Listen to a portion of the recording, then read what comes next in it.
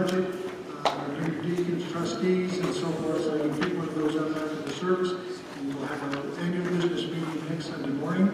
And then, of course, in December, we've got a lot of different things happening, so you need to uh, make sure that you pay attention to that. We'll have the church calendar out for you next week, or the monthly calendar. And uh, you'll get that. So a lot of good things happening. We're just glad you were here this morning. At the end of the service this morning, we'll be observing communion, so we'll do that at the end of the service. Word of prayer? Prelude from the. Father, we thank you this morning as we come together that we have this, this privilege. And we just pray as we sit and listen and hear and observe, that we allow the Holy Spirit to speak to us. That we can understand what we need to be doing as, as believers in Christ. And I do pray, Father, if there's somebody here that's not sure about their eternal salvation, that they'll uh, make sure they get that taken care of this morning. May the Holy Spirit lead during this time. In Jesus' name, amen.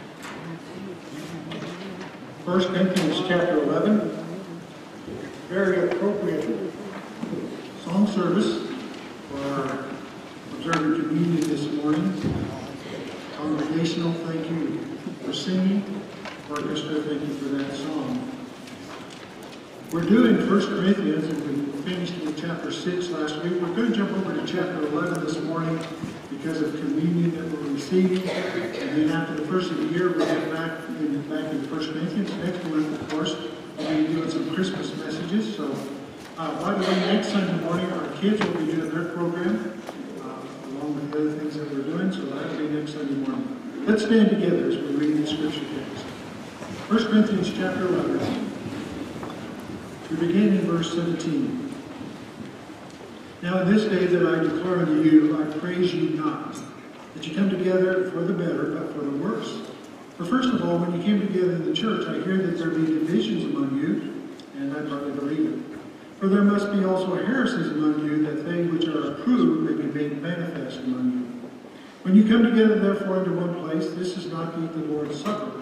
For in eating everyone taketh before other his own supper, and one is hungry and another is drunken. What?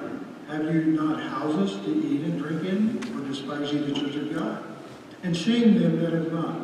What shall I say unto you? Shall I praise you in this? I praise you not. For I have received of the Lord that which I did also I delivered unto you, that the Lord Jesus, that same night in which he was betrayed, took bread. When he had given thanks, he brake it and said, Take, eat, this is my body, which is broken for you. This do in remembrance of me. And after the same manner also he took the cup which he had supped, when he had supped, saying, This cup is of the New Testament in my blood. This do ye as oft as you drink it in remembrance of me. For as often as you eat the bread and drink this cup, you do show the Lord's death till he come. Wherefore, whosoever shall eat this bread and drink this cup of the Lord unworthy shall be guilty of the body and the blood. But let a man examine himself, and so let him eat and eat of that bread and drink of that cup. For he that eateth and drinketh unworthily eateth and drinketh damnation himself, not discerning the Lord's body. For this cause many are weak and sickly among you, and many sleep. For if we would judge ourselves, we should not be judged. But when we are judged, we are chastened of the Lord, that we should not be condemned with the world. Wherefore, my brethren, when you come together to eat, tarry one for another. And if any man hunger, let him eat at home. Then ye come and together into condemnation, and the rest will I set in order when I come. Let's pray. Father, we come this morning, we do thank you. Enjoy this week of Thanksgiving, whether we were with family, friends, or alone. We thank you for your many, many blessings to us, especially salvation. And now as we come to this particular portion of Scripture, this is a time of remembrance. We thank you for allowing us to participate in that. May we, as we go through this particular message, each one of us, let the Spirit speak to us. Show us what you want us to hear. In Jesus' name, amen. You may be seated. Well, by instruction and example, Christ instituted two ordinances. One was baptism, the other was the Lord's Supper. And those who believe in him are faithfully participate in here. And Paul was is establishing these ordinances in Corinth.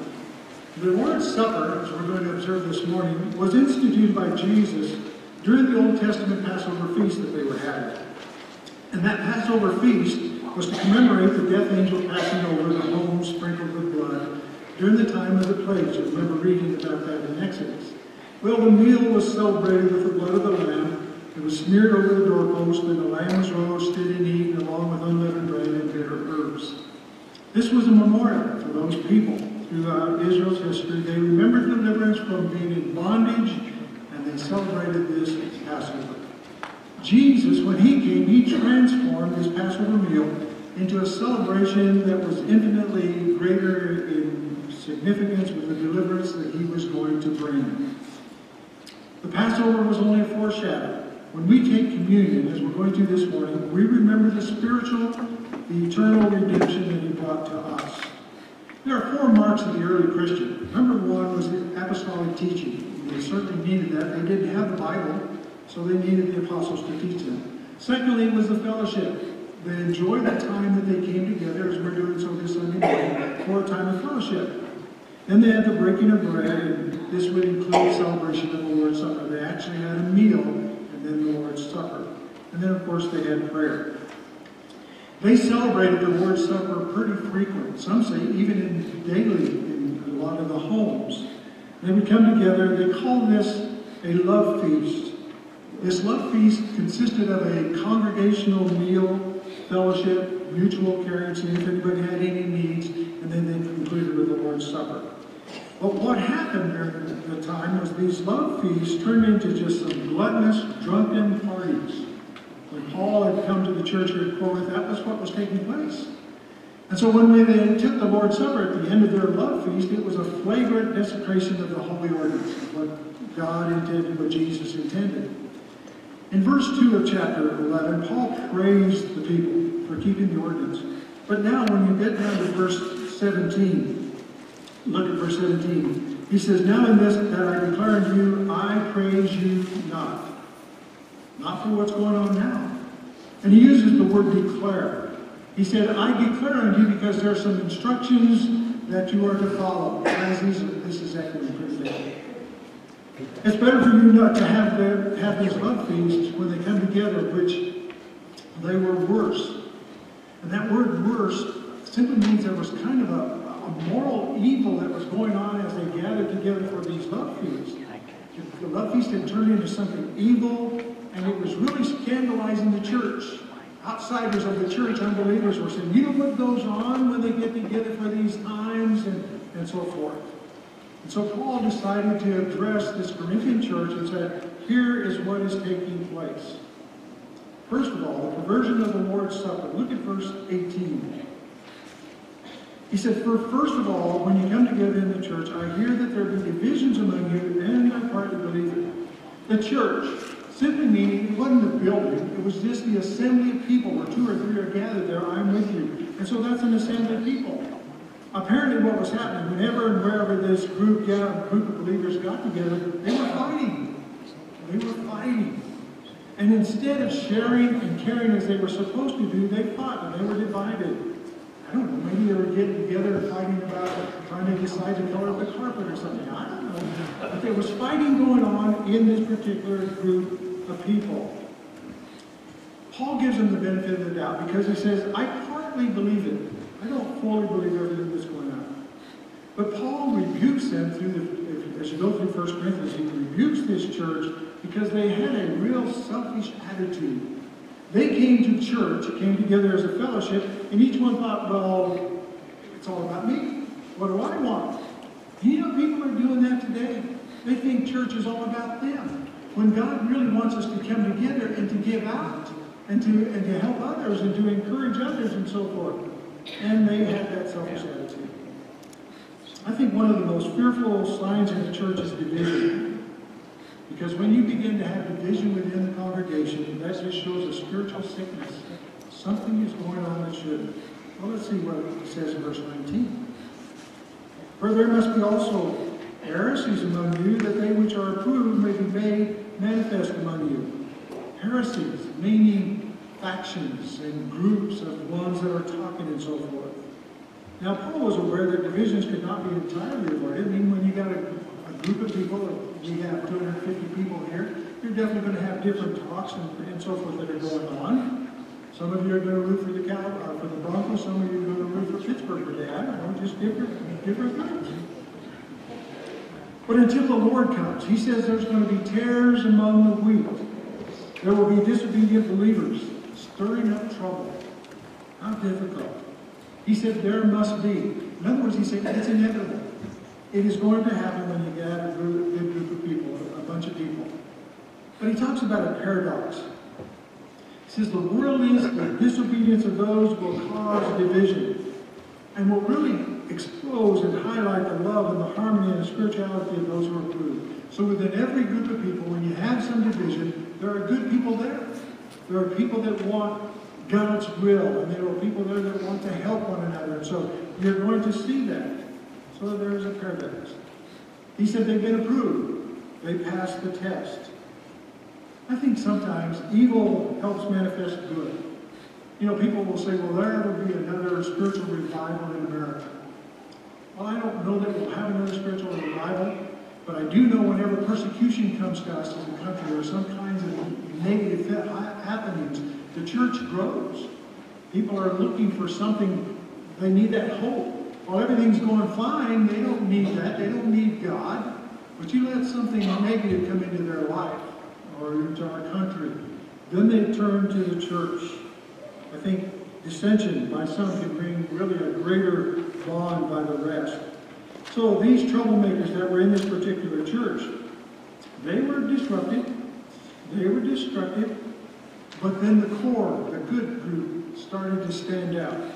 Initially, they reveal those that are strong spiritual leaders. But look at the focal point in verse 20.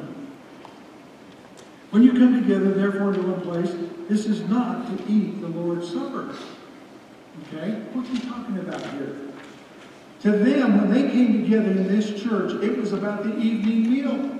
And we like that, don't we? We like to come together and eat. We do that quite often. But that was the most important part. And they had a genuine. They made it a love feast. And then at the end, they tacked on communion. In the Corinthian church, they finally had to separate the two. They had their time of, of eating their love feast and so forth, and then at a different time they had communion because it was just getting all swallowed up. It was just becoming gross abuse of the communion. Eventually, the love feast disappeared altogether within this church. But the Lord's Supper had become a mockery. How quickly Satan will work in a church. It's only been 20 years that this church has been in existence, and, and Jesus had left them with the Lord's Supper. Now look at what has taken place. They were no longer devoting their time to the Lord. It was all about me. They didn't honor him. They didn't give their time to him. It was all about their food and their, their drinking and, and their love feast. But here's a test of faith and belief in verse 21. For in eating, everyone taketh before others his own supper, and one is hungry and another is drunken. So you had the poor who didn't have much. They came to this love feast thinking that they were going to get to eat. They were going to get a good meal. But they went away hungry because those who were had had the food and so forth thought, no, no, no, we're eating first. We're going to eat. And they would eat it all up. And so the poor went away hungry both spiritually and physically. Those who brought the food, they just gorged themselves and eventually they became drunk. They mocked the very purpose of this occasion. To bring unity and harmony was what it's supposed to be all about. But they got in their little cliques and their so forth, and they didn't let all these other people in. That's not what the church is all about. We're here to share with one another. We're here to edify, to help one another, to encourage one another. So in verse 22, Paul talks about a frustration. What? Have you not houses to eat and drink in? Or despise ye the church of God, and shame them that have not? What shall I say to you? Shall I praise you in this? I praise you not. You can indulge yourself at home, he said. Why do you have to come here and do that? Are you trying to destroy the fellowship? Is that what you're trying to do? Are you so contemptuous that you embarrass the brethren? Paul says, You're not going to get any approval from me about this. No way. You know, when we come to communion, we're to leave behind the sin and the prejudice, the feeling of superiority, all bitterness. We come here as brothers and sisters, part of the family of God. We're here together, saved by the grace of God. And that's what it's all about. There's no one to be lifted. There's no lofty people. We're all on the same level. So now Paul says, well, let me show you. Let me tell you what is the purpose of the Lord's table. And these next few verses, verses 23 through 26, talk about, it's, it's like a diamond that's been found in the mud or brought out. Paul is strongly rebuking. He said, let me show you the beauty of communion. Verse 23. For I received of the Lord that which I also delivered unto you, that the Lord Jesus, the same night in which he was betrayed, took bread. Paul says, I received this directly from the Lord. He gave me this message to give you. I'm not just hearing this from somebody else. This is from the Lord. And they must, they may not have known the truth because the Bible wasn't written yet. The Gospels weren't there. And so they had to hear it from those that God had entrusted with the Word. So the most beautiful of Christian celebrations was instituted on the very night that Jesus was betrayed. Think about it. Jesus instituted this, uh, this time to come together, the communion, the night that he was going to be betrayed. I think that shows us that in the midst of the world's evil, God establishes his good. In the midst of Satan's wickedness, God plants his holiness. In the midst of Satan's worst, the condemnation of the Son of God, God establishes his best. He shows us, we celebrate the redemption that we have in Jesus Christ. And so in recording of this meal, the gospel and Paul emphasizes that it is a new meal. It's not the old Passover. When you look at the Old Testament Passover meal, there were four cups that they took during this time. The first cup that they did in the Old Testament Passover meal was a blessing that was given. The bitter herbs were eaten and they gave the meaning of Passover that we came out of the Exodus and so forth. And they sang a little bit from Psalm 113 through Psalm 118. Then they had a second cup, and the unleavened bread was broken. The roasted lamb was eaten during that meal. Then they had a third cup. And they sang the rest of Psalm 113 through 118. And then they had a fourth cup, and they were celebrating the coming kingdom. And they left. But the third cup is what Jesus blessed. And it became the cup of communion. Look at verse 24. It's the body that represents the Exodus. Verse 24. When he had given thanks, he brake it and said, Take, eat. This is my body, which is broken for you. This do in remembrance of me. He broke it. This represents the body. The giving of the body of Jesus. Understand this. It was more than just death. It was more than just him being on the cross. The body that he talks about is, is actually God himself coming down and being in a physical body and all that goes with it. For the 30 some years that Jesus walked this earth, he felt the things that you and I felt. He had, there were the same kinds of temptations. He went through all of that. Yet he did not see it. He did not see it. And so when they took of that bread, they realized, we realized what, what took place during that time as Jesus came and gave his body. And the most beautiful words of all of the scripture, he says, for you. He said, I became for you. I gave the gospel for you. I suffered for you. I died for you. I'm coming back for you. That's why I gave this body. Our gracious, loving, gentle God became man, not for himself, but for you, for all of us. He became man. Understand that when we take of that element this morning. Jesus came, and when all that he went through, just for you.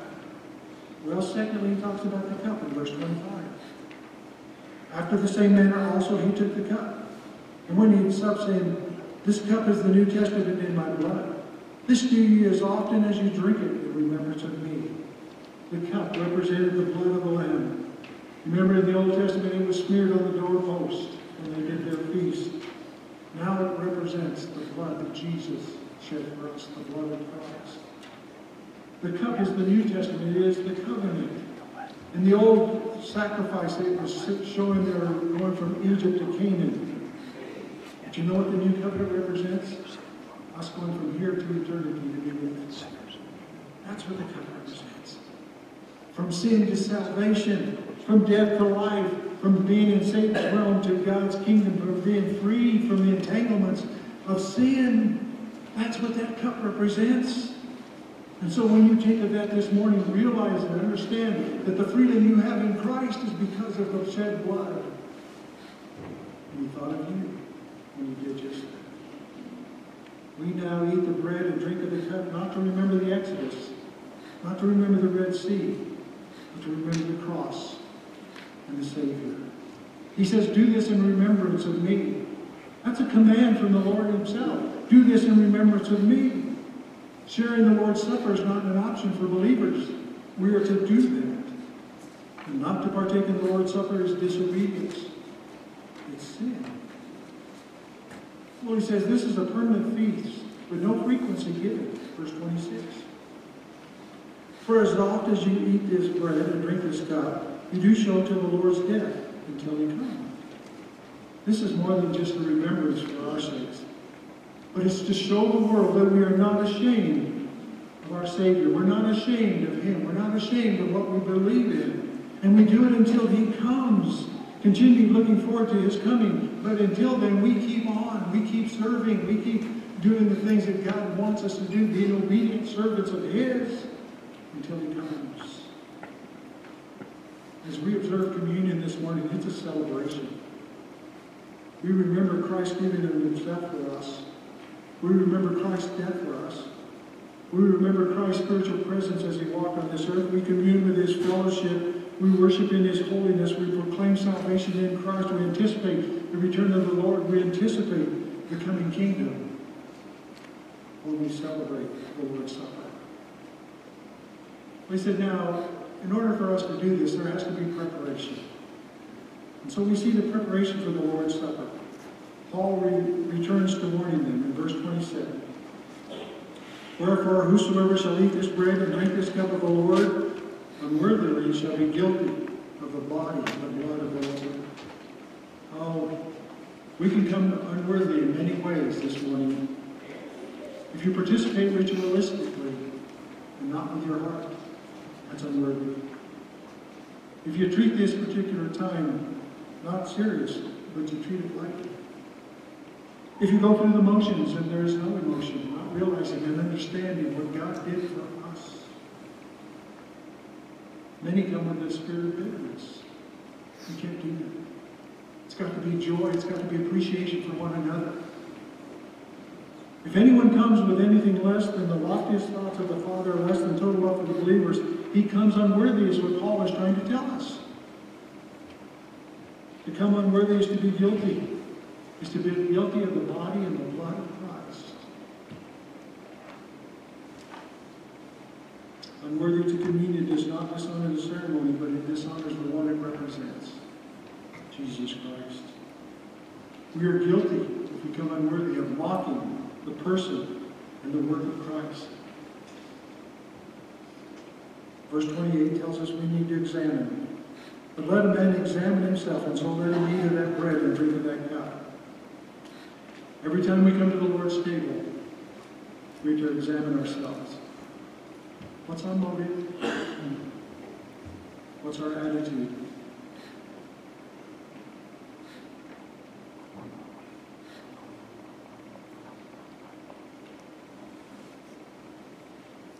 It comes a chastisement from God. Verse 29. For he that eateth and drinketh unworthily eateth and drinketh damnation himself, not discerning the Lord's body. This is not eternal damnation, but it's talking about chastisement. You see, we see ex- externally, God sees internally. He knows the heart. He knows your motive. He knows as you're partaking of this, what's in your life. Corrupting the Lord's Supper is not a minor thing. It's between you and the Lord. And it's not a minor thing. Look at verse 3. For this cause many are weak and sick among you, and many sleep. You come to communion pretending that's a gross violation of God's intention for what it is all about. Verse 31. For if we should judge ourselves, we should not be judged. This remedy for unworthiness determine what we are, where we ought to be in our Christian life, in our walk with Him. It's not just about this morning. It's about our walk with Him. Where should we be? What is going on? God will discipline, verse 32. But when we are judged, we are chastised of the Lord that we should not be condemned with the world. God will discipline. God sends His discipline to push us back into the area of right behavior. There are times we need to be. He even sends some death to encourage others who are not living right. That's a powerful thought.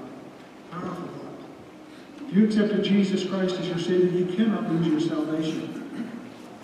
But if we're not living for Him and we're doing things that He is not pleased with, God will chastise us. And He'll chastise us to keep us from falling. Well, there's an admonition. Verse 33, 34. Wherefore, my brother, when you come together to eat, tarry one for another. And if any man hunger, let him eat at home, that you come not together into condemnation, and the rest will I set in order when I come. Simply put, Paul says, get your life straightened out. Drop your prejudices. Have unity. Be one in Him. You see, when we come to this communion table, you've been invited by the Lord Jesus Himself. He does the invitation. He has invited you this morning to come and observe communion. And He said, if you're just simply going to indulge yourself, do it at home. Do. The church is for sharing and caring, not for prejudices. As we partake of communion this morning, it's to remember how God gave Himself. Let's don't take unworthy this morning. As the guys come forward that are going to help serve, would you just bow your heads? guys come forward, they're going to serve. Just bow your heads for a moment and just think on the message.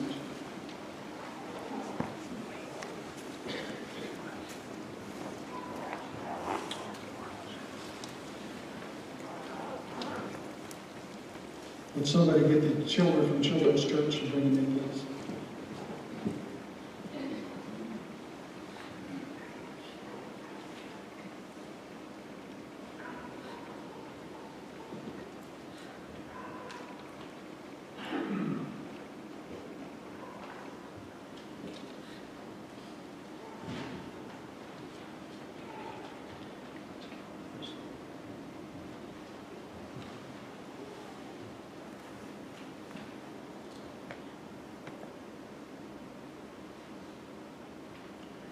Come on in and find your parents.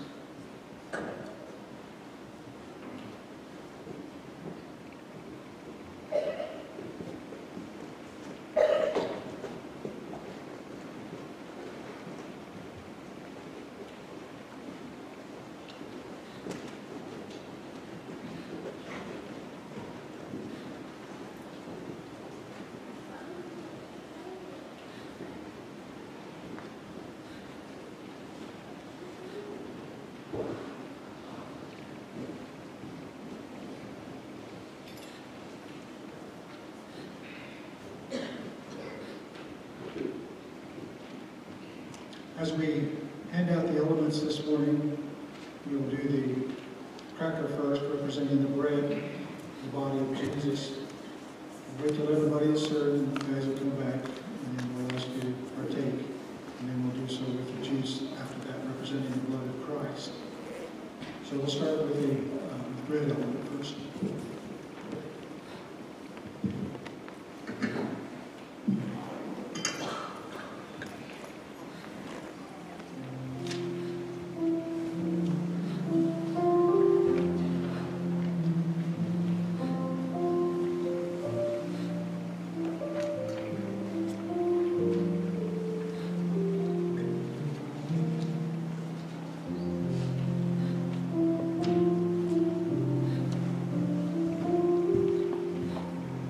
we do pray. Lord, we thank you this morning for the invitation to come to your table to receive a renewed fellowship with you. Thank you for the love and grace that you poured into our lives. We um, just pray that you bless this time as we fellowship together